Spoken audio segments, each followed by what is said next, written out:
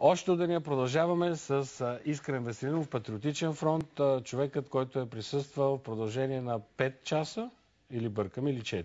Толкова, да. 5 часа в зала Запад на Народно събрание, където са се провеждали консултациите, първите консултации, защото разбрахме, че няма да са последни, между Патриотичния фронт и между ГЕРБ. И сега толкова ли оптимистично всичко звучи, толкова ли имаше радост и щастие в тази зала Запад, защото така излиза от пресконференцията, която дадохте двете формации заедно след тези разговори. Аз даже се изненадах от приповдигнатия тон на новината, с която беше обявена. Ама а, то вие обявихте, не ние. Нека да различим, както се казва, темите. Първата тема беше чисто процедурна. Дали сме готови да подпишем споразумение, дали то сме готови да, то да бъде за 4 години и в този дух. Да, всъщност единствената причина, в която ние бихме влезли в тия разговори е подписване на споразумение, което гарантира конкретни политики. А, всъщност ние имаме а, не а, разбиране по част от тези политики и това а, поне към момента, както определят и колегите от ГЕРБ, са сериозни а, политики, където трябва да се търси общия език а, и тогава евентуално да има фанфари и всичко останало. Фанфарите ще бъдат, когато седнат а, лидерите на двете формации, двамата са председатели вашите Красимир Каракачанов, Валери Симеонов и Бойко Борисов и подпишат това споразумение. Това е ясно. Но това, което аз чух по БНТ от тази пресконференция, от а, дамския екип на ГЕРБ, от Румяна Бачварова, от Цецка Цачева, а, от Менда Стоянова, след което говори Валери Симеонов, съпредседателя Красимир Каракачанов, е, че вие сте айде да не кажа на една, но може би на две крачки от постигането и подписването на подобно споразумение или бъркам? Всъщност от 14-те теми останаха за обсъждане 4, но тези 4 са... Които, които важни, все кои са те? Кажете данъчна ги политика. Кажете ги тези 4 теми. Данъчна политика, данъчна политика, политика така. фундаменталното искане на ГЕРБ за санирането, нали, за мащабно саниране с бюджетни средства. На, на жилищния фонд в държава. Да, на жилищния фонд. С бюджетния, не европейски. Не с европейски, с бюджетния. И ще си помогна само да видя какво беше... А, секунда, извинете, но идвам буквално от... Да, да, да, помогнете си с записките. Трябва още двечки да измислите и да ги видите не, едно. там. едно ли само остана? Нещо с енергетиката да не е? А, не, с енергетиката постигнахме така добра, добро... Нещо да не е борба с престъпността. Престъпността е така...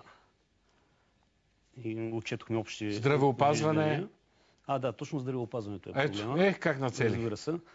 Става дума за премахване на монополното положение на здравната каса. Вие това го искате? Ние това го искаме. А ГЕРБ не го ли искат? Не, ГЕРБ казаха, че в тяхните планове не влиза такава мащабна реформа че положението е критично и трябва да се въздейства на сега съществуващата система, а не да се изграждат нови. Това беше тяхната теза. По отношение на данъците, ако искате да кажа няколко думи. Разбира се, данъци са много важни. А, Вие искате... Патриотичният фронт смята, всъщност може би философията на двете формации е малко различна, тъй като ние гледаме на бюджета като на една чисто математическа функция. Mm-hmm. Тя трябва да отговаря в крайна краща на някакви социални потребности, на някакви проблеми на държавата. В случая ние смятаме, че един от основните проблеми на държавата е бедността, демографския срив и смятаме, че трябва да има ходове за решаване в тази посока. Точно така. Искаме диференцирано ДДС, примерно за лекарствата. Несправедливо смятаме, колкото си по-болен, толкова повече да плащаш за лекарства. 20% нали, ускъпяват това. Отделно искаме диференцирано ДДС, нулева или ниска ставка за детските стоки, тъй като се оказва, че... А лекарствата? Всъщност, лекарствата също. Да. Ниска или, или нулева? нулева ставка за този вид стоки, на което не беше опонирано, че това ще дебалансира бюджета, че е в разрез с философията нали, на а, политическа партия ГЕРБ и това остана м, като въпрос за разискване като тема в, а, на едно по-експертно ниво, да кажем. Да.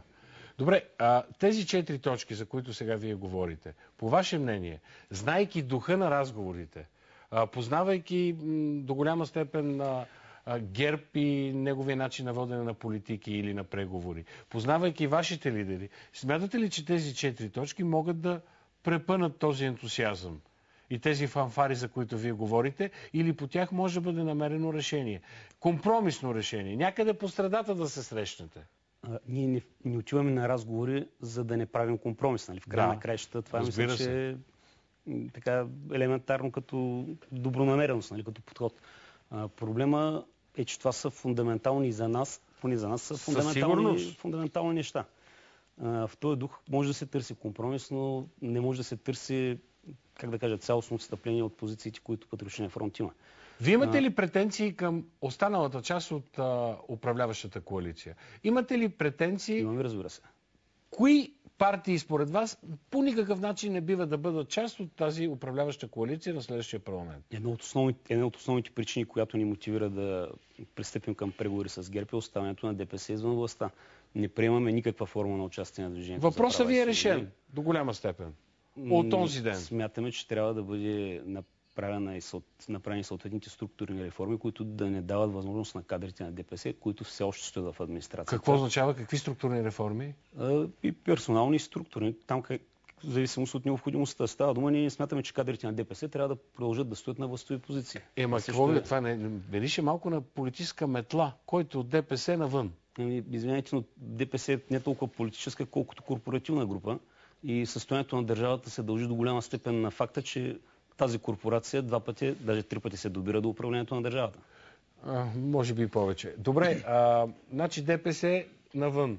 А, предполагам, че атака не искате да влиза вътре. Не, ние нямаме условия към нито една от а, българските партии. Смятаме, че И към атака нямате никакви претенции. нямаме претенции към никоя от българските партии. Смятаме, че споразумението, което се подписва за управление, а, трябва да бъде максимално широко подкрепено. Нещо повече, трябва да има теми, които, независимо от ролята опозиция управляващи, трябва да бъдат разписани и да бъде на- намерен необходимия консенсус, за да бъде стабилна държавата като цяло. Обсъждахте ли една формула, която от този ден се върти в публичното пространство? 14-3-2-1. Това какво ви говори?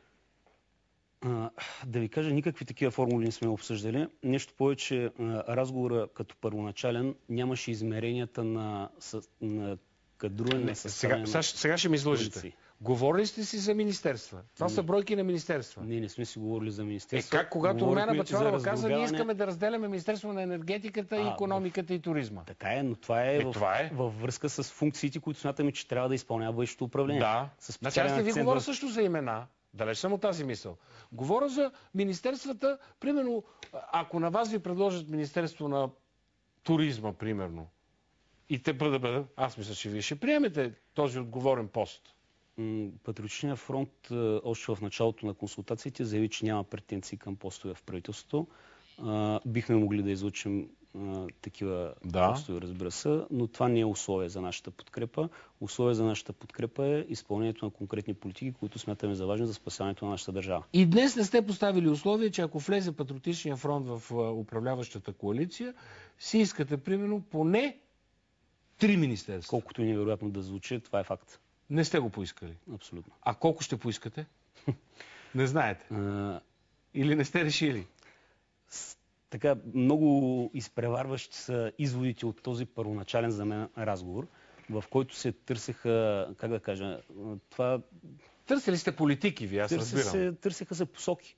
Да. В края на краища никой от нас не гори, нали, ако сме честни, ГЕРБ влязоха в тези избори с желанието да имат 121 депутата.